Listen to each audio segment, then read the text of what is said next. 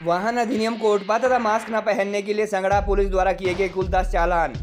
Police द्वारा लगातार चालान किए जाने के बावजूद संबंधित नियमों की अवहेलना करते भी नज़र आ रहे हैं लोग। उपमंडल मुख्यालय संगड़ा में पुलिस द्वारा लगातार वाहन अधिनियम की अवहेलना तथा मास्क न पहनने वाले लोगों के चालान किए जाने के बावजूद लोग संबंधित नियमों की अवहेलना करते भी नज़र आ रहे हैं। इस महाक्षेत्र में काफ़ी संख्या में पड़ोसी राज्यों से पहुँचने वाले पर्यटक अथवा बाइकर्स में से भी कई लोग एम तथा कोरोना एस जैसे नियमों की अवहेलना करते दिख जाते हैं। मास्क न पहनने वाले लोगों का तर्क है कि पिछले काफ़ी दिनों से इलाके में कोरोना पॉजिटिव केसेस ना के बराबर आ रहे हैं और अब वह मास्क पहनना ज़रूरी नहीं समझते।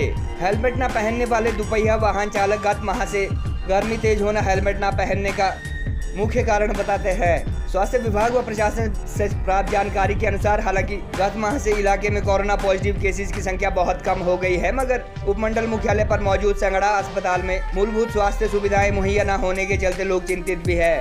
सीसी संगड़ा में पिछले करीब चार माह से जहाँ 108 एंबुलेंस नहीं है, वहीं डॉक्टर की संख्या केवल दो तथा ऑक्सीजन बेड एक है। जानकारी के अनुसार बुधवार को कस्बे में ट्रैफ़िक व्यवस्था देखने वाले मुख्य आरक्षी खुशहाल चंद द्वारा वाहन अधिनियम की अवहेलना के लिए आठ चालान किए गए तथा उप चालकों से अठारह सौ की जुर्माना राशि वसूल की गई।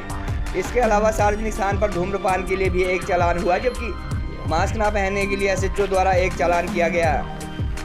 थाना प्रभारी संगड़ा मेहरचंद ने बताया कि पुलिस द्वारा चालान किए जाने के साथ साथ लोगों को मास्क, सोशल डिस्टेंसिंग तथा वाहन अधिनियम के प्रति जागरूक भी किया जा रहा है।